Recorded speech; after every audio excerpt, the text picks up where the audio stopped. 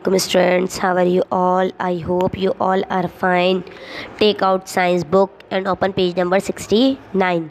जी students पहले हम थोड़ा सा प्रीवियस लेक्चर पहले का लेक्चर रिवाइज कर लेते हैं मैंने आपको बताया था कि जब किसी मटेरियल के ऊपर फोर्स लगती है ताकत लगती है तो वो अपनी शेप को चेंज कर लेता है ठीक है फिर मैंने आपको एग्ज़ाम्पल दी थी कि स्ट्रेच की एग्ज़ाम्पल दी कि हम किन चीज़ों को खींच सकते हैं फिर मैंने आपको ट्विस्टेड की एग्ज़ाम्पल दी कि हम किन चीज़ों को मड़ोड़ सकते हैं।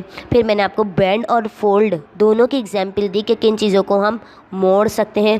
फिर मैंने आपको एग्ज़ाम्पल दी थी स्क्वैश की कि हम किन चीज़ों को फैला सकते हैं और किन चीज़ों को निचोड़ सकते हैं। और मैंने आपको वर्किंग दी थी जो आपने वर्किंग करनी है। अब आज के जो हमारा लेक्चर है वो कह रहे हैं आपसे how can heat change material जब मटेरियल पे क्या लग रही थी? फोर्स लग रही थी। अब मटेरियल पे क्या लग रही है? हीट लग रही है। गर्माइश लग रही है। अब वो गर्माइश कैसी है? किस चीज़ की है, ये देख लेते हैं। क्या वो सनलाइट सूरज की रोशनी की है, या फिर वो फ्लैम चूल्हे की है, या किस चीज़ की वो गर्माइश है, किस चीज़ की वो हीट है, जो मटेरियल पर लगती है तो मटेरियल क्या करता है, ठीक है? जैसे फोर्स लगी थी तो मटेरियल ने क्या किया था, अपनी शेप को चेंज कर लिया था। अब जब हीट लगेगी तो मटेरियल अपने साथ क्या करता है, ये देखते हैं। चलें आगे। कह रहे हैं when a material is heated जब किसी मटेरियल को हम क्या करते हैं, गर्म करते हैं, या उसको हीट लगती है, गर्माइश लगती है इट में change heat can come from the sun अब चाहे वो हीट किससे लगे?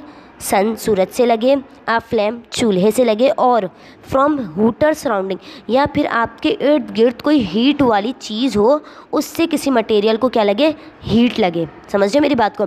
जैसे अक्सर सर्दियों में हमारे पापा, मामा या फिर कहीं पर हम जाते हैं तो उनका हीटर होता है। कमरे को रूम को क्या रखता है? गर्म रखता है। समझ रहे अब कह रहे मटेरियल पर वो हीट जो है किससे लग रही है? तो सन से लगेगी, या फ्लेम चूल्हे से लगेगी, या फिर किसी हॉटर से लगेगी, ठीक है? आगे कह रहे हैं वो करता क्या है? विथ हीट जब क्या लगती है? हीट लगती है।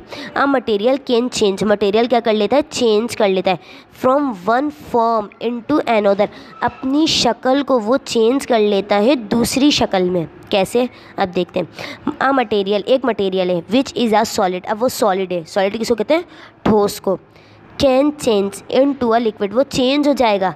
दूसरी फॉर्म में, हमने थ्री हमारी थ्री फॉर्म्स है ना सॉलिड ठोस लिक्विड पिघला हुआ या पानी और एयर गैस यानी एयर हवा। अब कोई सॉलिड चीज़ है वो चेंज हो जाएगी into a liquid liquid form में। वी से इट मेल्ट इसको कहते हैं मेल्ट जब कोई ठोस चीज़ से कोई चीज़ पिघलेगी तो वो कहलाती है मेल्ट जैसे कि आप देखो, मैंने आइस क्यूब है बर्फ़ के टुकड़े फ्रीज़र में रखे। बर्फ़ के टुकड़े होते हैं ना, कितने सॉलिड होते हैं। ठीक है, अब मैंने उसको निकाला। फाइव मिनट्स या तो टेन मिनट्स के लिए छोड़ दिया। वो बर्फ़ जो है क्या करेगी? पिघल जाएगी और क्या बन जाएगी? लिक्विड फॉर्म इख्तियार कर लेगी। वो सॉलिड फॉर्म क्या इख्तियार कर लेती? क्या इख्तियार कर लेगी? लिक्विड फॉर्म इख्तियार कर लेगी। समझिए मेरी बात को?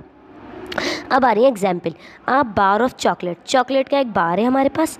मेल्ट अब वो मेल्ट हो रहा है. क्यों मेल्ट हो रहा है? After it is heated over a flame उसको हमने चूल्हे के पास रख दिया. देखो, ये है हमारे पास आज chocolate bar melt melted chocolate अब क्या हो गया? वो चॉकलेट मेल्ट हो गई, पिघल गई. क्यों पिघल गई? उसको हीट लगी.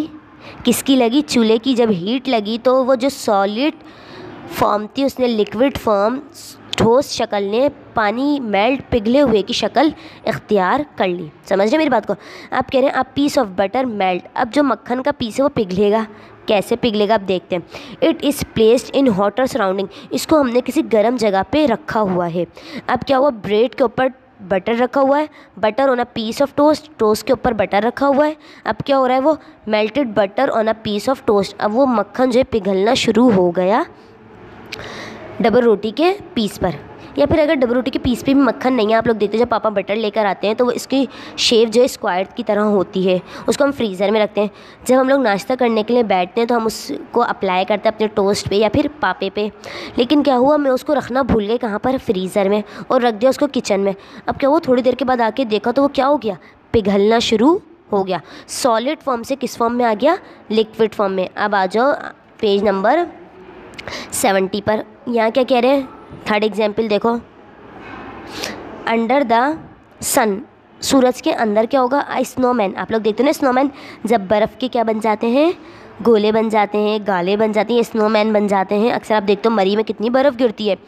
मेल्ट्स टू बिकम वाटर फिर वो मेल्ट होके क्या बन जाता है? पानी बन जाता है। जैसे देखो, एक हद तक बर्फ़ गिर रही है कहाँ पर? मरी में, गिलगित में बल्दिस्तान में, ये कौन से इलाके हमारे, जिनको हम कहते हैं जहाँ पर बर्फ़ गिरती है। ठीक है? अब क्या हो भाई बर्फ़ गिर रही है? अब ये तो नहीं होगा ना कि पूरे साल वो बर्फ़ ही रहेगी? नो कुछ महीने ऐसे होते हैं जो बर्फ़ के होते हैं, उसके बाद वो क्या हो जाते हैं नॉर्मल एरियाज़ हो जाते हैं।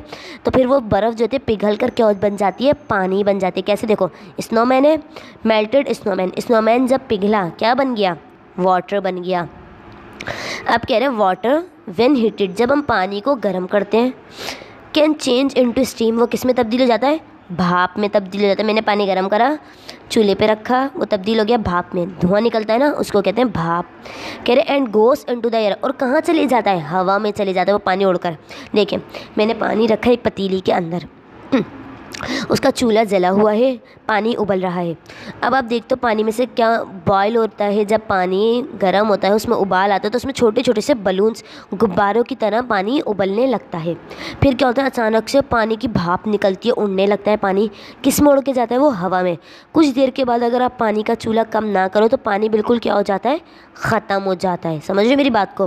कह रहे हैं water change into steam when it is heated जब हम पानी को गर्म करते हैं तो वो चेंज होता जाता है स्टीम के अंदर, भाप के अंदर। उसने भी क्या कर लिया अपनी शेप को फॉर्म को चेंज कर लिया। ये था आपका आज का लेक्चर। समझ रहे मेरी बात को? मैंने आपको बताया कि जब हीट लगती है तो एक फॉर्म अपनी दूसरी फॉर्म में कैसे आ जाती है? सॉलिड से लिक्विड कैसे हो जाती है? ठीक है? अब इसके आपकी एक्टिविटी, आपने क्या करना है? अपनी नोटबुक ओपन करनी है। नोटबुक के बाद हमने एक्टिविटी नंबर वन करी थी। अभी आपकी एक्टिविटी नंबर टू है। क्या कह रहे हैं आपसे? What happen to the following when they are heated और cooled tick the correct column लो अब आपके पास मैंने कुछ मटेरियल बताएँ। उनको हम चेंज करेंगे। ठीक है? और फिर वो क्या बनेगा? आगे जाके ये देखते हैं। फ़र्स्ट कॉलम आपने बताना है मटेरियल का। सेकंड बनाना है चेंज बाय वो किसमें चेंज हो रहे हैं? हम किसमें कर रहे हैं? बिकम्स क्या बनेगा? सॉलिड बनेगा? लिक्विड बनेगा? या फिर एयर बनेगा? सही है? सबसे पहले आप देखो बटर बटर को हमने, मैंने क्या करा? हीट दी. थोड़ी सी गर्माइश दी. वो क्या बन जाएगा? क्या सॉलिड ठोस बन जाएगा? No no. क्या बन जाएगा? लिक्विड बन जाएगा. आपने टिक किस पे करा? लिक्विड पे करा. आप कह रहे हैं वाटर वाटर को जब मैं कूलिंग ठंडा करूँगी, क्या करूँगी? ठंडा करूँगी, क्या बन जाएगा? सॉलिड क्या बन जाएगी? बर्फ़ बन जाएगी. लिक्विड तो नहीं बनेगा ना और ना ही हवा बनेगा. सॉलिड बन जाएगा. फिर कह रहे वाटर दोबारा पानी. पानी को मैं हीटेड गर्म करूँगी. क्या वो सॉलिड बनेगा? No no. लिक्विड बनेगा? No no. बल्कि क्या बन जाएगा? Goes into the air हवा में उड़ जाएगा। तो इस पर भी आप टिक करोगे। फिर कह रहे हैं मेल्टेड चॉकलेट मेल्टेड चॉकलेट पिघली हुई चॉकलेट है।